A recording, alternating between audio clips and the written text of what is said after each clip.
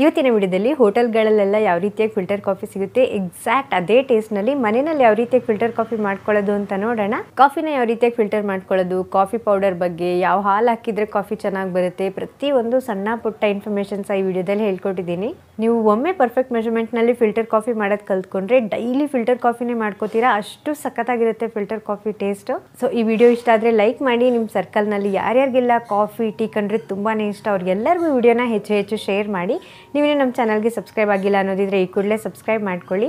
ಬನ್ನಿ, ಒಂದು ಸಕ್ಕತ್ತಾಗಿರೋ strong filter ಕಾಫಿನ ಯಾವ ರೀತಿಯಾಗಿ ಮಾಡೋದು ಅಂತ ನೋಡ್ಕೊಂಡು ಬರೋಣ.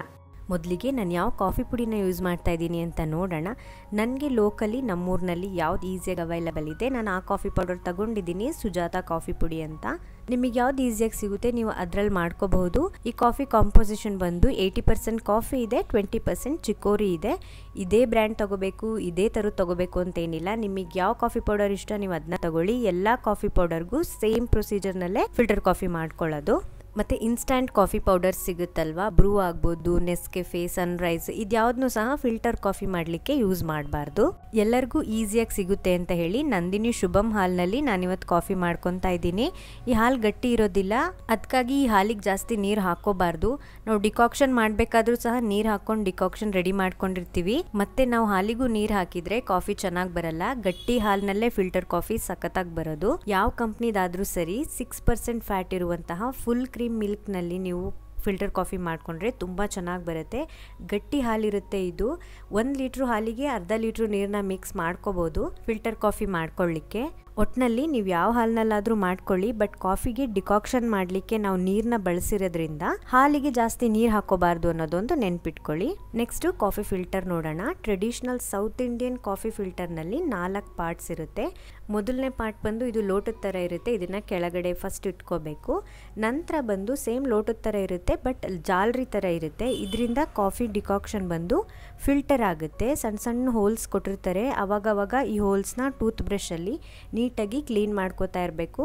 ಯಾಕಂದರೆ ಯೂಸ್ ಮಾಡ್ತಾ ಮಾಡ್ತಾ ಕಾಫಿ ಪೌಡರ್ ಎಲ್ಲ ಈ ಹೋಲ್ಸ್ಗಳನ್ನ ಬ್ಲಾಕ್ ಮಾಡಿಬಿಡುತ್ತೆ. ಅವಾಗವಾಗ ಅದನ್ನ ನೀಟಾಗಿ ಕ್ಲೀನ್ ಮಾಡ್ಕೋಬೇಕು. ಮೂರನೇದು ಬಂದು ಇದು ಟ್ಯಾಂಪಿಂಗ್ ಯೂನಿಟ್ ಅಂತಾರೆ. ಕಾಫಿ ಪೌಡರ್ನ ಹಾಕಿದ ಮೇಲೆ ಇದನ್ನ ಅದ್ರ ಮೇಲೆ ಇಡಬೇಕು. ಕೊನೆದು ಬಂದು ಅದ್ರ ಮೇಲೆ ಮುಚ್ಚೋ ಅಂತ ಮುಚ್ಚಳ. ನಾನು ಯೂಸ್ ಮಾಡ್ತಾ ಇರೋದು zero size coffee filter one twenty five M L capacity ಇರುತ್ತೆ ಇದು.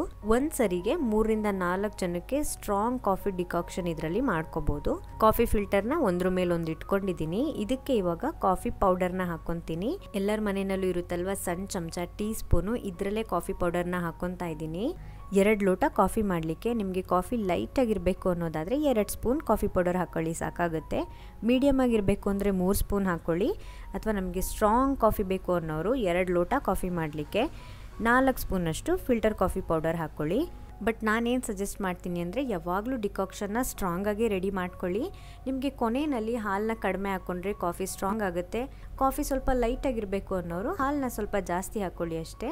ನಾನಿಲ್ಲಿ ನಾಲ್ಕು ಸ್ಪೂನಷ್ಟು ಫಿಲ್ಟರ್ ಕಾಫಿ ಪೌಡರ್ನ ಹಾಕ್ಕೊಂಡಿದ್ದೀನಿ ಕಾಫಿ ಪುಡಿನ ಹೆಂಗೆಂಗೋ ಹಾಕಿರ್ತೀವಿ. ಅದು ಒಂದು ಸಮ ಇರಲ್ಲ. ಅದಕ್ಕೆ ಒಂದ್ಸರಿ ಶೇಕ್ ಮಾಡ್ಕೊಂಡಿದ್ದೀನಿ. ಒಂದು ಸಮ ಆಗಲಿ ಅಂತ.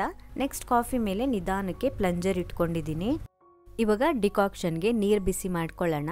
ನಾನು ಯಾವ ಲೋಟದಲ್ಲಿ ಕಾಫಿ ಮಾಡ್ಕೋತಾ ಇದ್ದೀನೋ ಅದೇ ಲೋಟದಲ್ಲಿ ಒಂದು ಲೋಟದಷ್ಟು ನೀರು ಬಿಸಿ ಮಾಡ್ಕೋತಾ ಇದ್ದೀನಿ ಬಿಸಿನೀರೇ ಹಾಕಬೇಕು, ಡಿಕಾಕ್ಷನ್ ಮಾಡ್ಕೊಳ್ಳಿಕ್ಕೆ ತಣ್ಣೀರು ಹಾಕಬಾರ್ದು.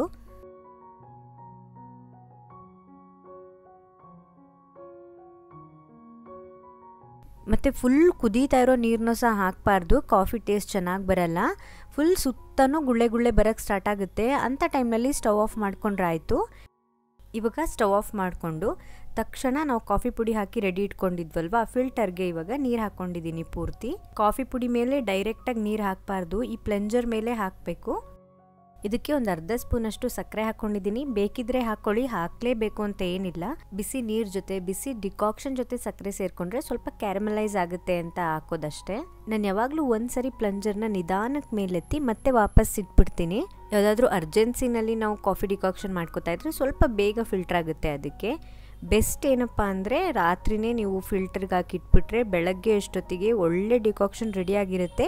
ನಾನಿಲ್ಲಿ ಒಂದು ಇಪ್ಪತ್ತು ನಿಮಿಷ ಬಿಟ್ಟಿದ್ದೆ. ಇಪ್ಪತ್ತು ನಿಮಿಷಕ್ಕೆ ಕಾಫಿ ಎಲ್ಲ ಫಿಲ್ಟರ್ ಆಗಿ ಡಿಕಾಕ್ಷನ್ ರೆಡಿ ಆಗಿದೆ. ಕಾಫಿ ಮಾಡಿ ಇನ್ನೂ ಸ್ವಲ್ಪ ಡಿಕಾಕ್ಷನ್ ಉಳ್ಕೊಂತು ಅಂದರೆ ನೀವು ಫ್ರಿಜ್ನಲ್ಲಿ ಎತ್ತಿಟ್ಕೋಬೋದು.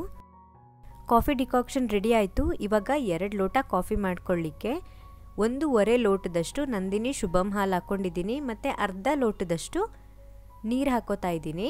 ಇದಕ್ಕೆ ಜಾಸ್ತಿ ನೀರು ಹಾಕೋತಾ ಇಲ್ಲ ನಾನು. ಆಲ್ರೆಡಿ ಡಿಕಾಕ್ಷನ್ ನೀರಾಗಿರೋದ್ರಿಂದ ಗಟ್ಟಿ ಹಾಲನ್ನೇ ಬಳಸಬೇಕು. ಎರಡು ಲೋಟ ಕಾಫಿ ಮಾಡಲಿಕ್ಕೆ ಎರಡು ಸಣ್ಣ ಚಮಚದಷ್ಟು ಸಕ್ಕರೆ ಸಾಕಾಗುತ್ತೆ. ಸ್ವೀಟ್ ಸ್ವಲ್ಪ ಜಾಸ್ತಿ ಇಷ್ಟಪಡೋರು ಒಂದು ಕಾಲು ಸ್ಪೂನಷ್ಟು ಎಕ್ಸ್ಟ್ರಾ ಸಕ್ಕರೆ ಹಾಕ್ಕೊಳ್ಳಿ. ನಾನು ಎಕ್ಸ್ಟ್ರಾ ಕಾಲು ಸ್ಪೂನ್ ಸಕ್ಕರೆ ಹಾಕ್ಕೊಂಡಿದ್ದೀನಿ ಯಾಕಂದರೆ ಡಿಕಾಕ್ಷನ್ ಸ್ಟ್ರಾಂಗ್ ಇದ್ದರೆ ಕಾಫಿ ಸ್ವಲ್ಪ ಕಹಿ ಅನಿಸುತ್ತೆ ಅದಕ್ಕಾಗಿ.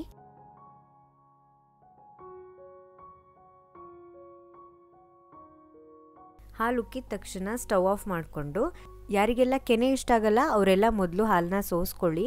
ಕೆನೆ ಇಷ್ಟ ಇರೋರು ಡೈರೆಕ್ಟಾಗಿ ಡಿಕಾಕ್ಷನ್ ಜೊತೆ ಮಿಕ್ಸ್ ಮಾಡ್ಕೊಬೋದು. ಡಿಕಾಕ್ಷನ್ ಸಹ ಬಿಸಿ ಇದೆ, ಹಾಲು ಸಹ ಬಿಸಿ ಇದೆ. ಕಾಫಿ ಮಾಡಬೇಕಾದ್ರೆ ನಿಮಗೆ ಕಾಫಿ ಸ್ವಲ್ಪ ಲೈಟಾಗಿ ಬೇಕಿದ್ರೆ ಡಿಕಾಕ್ಷನ್ನ ಸ್ವಲ್ಪ ಕಡಿಮೆ ಹಾಕ್ಕೊಳ್ಳಿ ಕಾಫಿ ಸ್ವಲ್ಪ ಸ್ಟ್ರಾಂಗ್ ಬೇಕಿದ್ರೆ ಡಿಕಾಕ್ಷನ್ನ ಸ್ವಲ್ಪ ಜಾಸ್ತಿ ಹಾಕ್ಕೊಂಡ್ರೆ ಕಾಫಿ ಸ್ಟ್ರಾಂಗ್ ಆಗುತ್ತೆ. ಒಂದು ಸಕ್ಕತ್ತಾಗಿರುವಂತಹ ಹೋಟೆಲ್ ಸ್ಟೈಲ್ ಫಿಲ್ಟರ್ ಕಾಫಿ ಮನೆಯಲ್ಲೇ ರೆಡಿಯಾಗೋಯ್ತು ಒಂದು ವೇಳೆ ಕಾಫಿ ಡಿಕಾಕ್ಷನ್ ಏನಾದರೂ ನೀವು ಫ್ರಿಜ್ನಲ್ಲಿ ಇಟ್ಕೊಂಡಿದ್ರೆ, ಕೊನೆಯಲ್ಲಿ ಹಾಲು ಕಾಸಬೇಕಾದ್ರೆ, ಸ್ಟವ್ ಆನ್ ಇರಬೇಕಾದ್ರೇ ಡಿಕಾಕ್ಷನ್ನ ಹಾಲೊಳಗಡೆ ಹಾಕ್ಕೊಂಡು ಸ್ವಲ್ಪ ಕಾಯೋವರೆಗೂ ಬಿಡಿ, ಒಂದು ಕುದಿ ಬಂದ ತಕ್ಷಣ ನೀವು ಸರ್ವ್ ಮಾಡ್ಕೋಬೋದು. ಆದಷ್ಟು ಫ್ರೆಶ್ ಆಗಿ ಮಾಡ್ಕೊಂಡ್ರೆ ಫಿಲ್ಟರ್ ಕಾಫಿ ತುಂಬ ಚೆನ್ನಾಗಿ ಬರೋದು. ಆದಷ್ಟು ನೊರೆ ಬರೋ ರೀತಿ ಮೇಲಿಂದ ಹಾಲನ್ನ ಹಾಕೋಬೇಕು ಚಂದ ನೊರೆ ಬಂದರೆ ಫಿಲ್ಟರ್ ಕಾಫಿ ಸಹ ಸಖತ್ತಾಗಿರುತ್ತೆ ಕುಡಿಲಿಕ್ಕೆ. ಕೊನೆಯಲ್ಲಿ ಒಂದು ಸಣ್ಣ ಟಿಪ್ ಏನಂದರೆ ಕಾಫಿ ಫಿಲ್ಟರ್ ಆದಮೇಲೆ ಕಾಫಿ ಪೌಡರ್ ಎಲ್ಲ ಸ್ವಲ್ಪ ಫಿಲ್ಟರ್ನಲ್ಲಿ ಹಾಗೆ ಉಳ್ಕೊಂಡಿರುತ್ತೆ. ಮತ್ತೆ ಇದಕ್ಕೇನೆ ಒಂದು ಅರ್ಧ ಲೋಟದಷ್ಟು ನೀರು ಬಿಸಿ ಮಾಡಿ ಹಾಕಿ ಡಿಕಾಕ್ಷನ್ ರೆಡಿ ಆಗಲಿಕ್ಕೆ ಬಿಟ್ಬಿಡಿ ಒಂದು ಇಪ್ಪತ್ತು ನಿಮಿಷ. ಮತ್ತೆ ನಿಮ್ಗೆ ಒಂದೆರಡು ಲೋಟ ಆಗುವಷ್ಟು ಡಿಕಾಕ್ಷನ್ ರೆಡಿ ಆಗುತ್ತೆ. ಬಟ್ ಮೊದಲಿಗೆ ಮಾಡ್ಕೊಂಡ್ವಲ್ಲ ಡಿಕಾಕ್ಷನ್ನು ಅದರಷ್ಟು ಎರಡನೇ ಸರಿ ಮಾಡ್ಕೊಂಡಾಗ ಸ್ಟ್ರಾಂಗ್ ಬರಲ್ಲ. ಬೇಕಿದ್ರೆ ಮೊದಲನೇ ಸರಿ ಮಾಡ್ಕೊಂಡಿದ್ದ ಡಿಕಾಕ್ಷನು ಮತ್ತು ಎರಡನೇ ಸರಿ ಮಾಡ್ಕೊಂಡಿದ್ದ ಡಿಕಾಕ್ಷನು ಎರಡೂ ಸಹ ಮಿಕ್ಸ್ ಮಾಡಿ ಕೊನೆಯಲ್ಲಿ ಬೇಕಾದರೆ ನೀವು ಹಾಲು ಜೊತೆ ಸರ್ವ್ ಮಾಡ್ಕೋಬೋದು. ನೀವು ಕೂಡ ಮನೆಯಲ್ಲಿ ಟ್ರೈ ಮಾಡಿ ನೋಡಿ ಹೇಗೆ ಬಂತು ಅಂತ ನನಗೆ ಕಮೆಂಟ್ ಮಾಡಿ ತಿಳಿಸೋದನ್ನ ಮಾತ್ರ ಮರಿಬೇಡಿ. ಮತ್ತು ನಿಮ್ಗೆ ಯಾವುದಾದ್ರೂ ಫಿಲ್ಟರ್ ಕಾಫಿ ಬಗ್ಗೆ ಟಿಪ್ಸ್ ಗೊತ್ತಿದ್ರು ಸಹ ನನಗೆ ಕಮೆಂಟ್ ಮಾಡಿ ತಿಳಿಸಿ. ನೋಡಿದ್ರಲ್ವಾ? ಫಿಲ್ಟರ್ ಕಾಫಿನ ಮನೆಯಲ್ಲಿ ಮಾಡ್ಕೊಳ್ಳೋದು ಎಷ್ಟು ಸುಲಭ ಅಂತ ಒಮ್ಮೆ ಟ್ರೈ ಮಾಡಿ ನೋಡಿ ಡೈಲಿ ಫಿಲ್ಟರ್ ಕಾಫಿನೇ ಬೇಕು ಅಂತೀರಾ? ಅಷ್ಟು ಸಖತ್ತಾಗಿರುತ್ತೆ. ಮನೆಯಲ್ಲಿ ಮಾಡೋದೇನು ಕಷ್ಟ ಅಲ್ಲ, ತುಂಬಾನೇ ಈಸಿ ಲಾಸ್ಟ್ ವೀಕ್ ಟೀ ಅಂಗಡಿನಲ್ಲೆಲ್ಲ ಯಾವ ರೀತಿಯಾಗಿ ಟೀ ಮಾಡ್ತಾರೆ ಅಂತ ಸಹ ಹೇಳ್ಕೊಟ್ಟಿದ್ದೀನಿ ಲಕ್ಷಾಂತರ ಜನ ವಿಡಿಯೋನ ನೋಡಿದ್ದಾರೆ ಮತ್ತೆ ಇಷ್ಟಪಟ್ಟಿದ್ದಾರೆ. ಆ ವಿಡಿಯೋ ಲಿಂಕ್ ಕೂಡ ಕೆಳಗೆ ಡಿಸ್ಕ್ರಿಪ್ಷನ್ ಬಾಕ್ಸ್ನಲ್ಲಿ ಕೊಟ್ಟಿರ್ತೀನಿ. ನಿಮಗೆ ಟೀ ಇಷ್ಟ ಇದ್ರೆ ಆ ವಿಡಿಯೋ ಸಹ ಚೆಕ್ ಮಾಡಿ ನೋಡಿ. ಇವತ್ತಿನ ವಿಡಿಯೋ ಇಷ್ಟ ಆಗಿದ್ರೆ ಲೈಕ್ ಮಾಡಿ ನಿಮ್ಮ ಫ್ರೆಂಡ್ಸ್ ಫ್ಯಾಮಿಲಿ ಎಲ್ಲರಿಗೂ ಹೆಚ್ಚು ಹೆಚ್ಚು ಶೇರ್ ಮಾಡಿ. ನೀವು ಇನ್ನೂ ನಮ್ಮ ಚಾನಲ್ಗೆ ಸಬ್ಸ್ಕ್ರೈಬ್ ಆಗಿಲ್ಲ ಅನ್ನೋದಿದ್ರೆ ಈ ಕೂಡಲೇ ಸಬ್ಸ್ಕ್ರೈಬ್ ಮಾಡ್ಕೊಳ್ಳಿ. ಮತ್ತೆ ನಿಮ್ಮ ಫ್ರೆಂಡ್ಸ್ ಫ್ಯಾಮಿಲಿ ಎಲ್ಲರ ಹತ್ರ ಕೂಡ ಸಬ್ಸ್ಕ್ರೈಬ್ ಮಾಡಿಸಿ ನಾನು ನಿಮಗೆ ಸಿಗ್ತೀನಿ ಮತ್ತೊಂದು ವಿಡಿಯೋ ಜೊತೆ. ಅಲ್ಲಿವರೆಗೂ ಹ್ಯಾಪಿ ಕುಕಿಂಗ್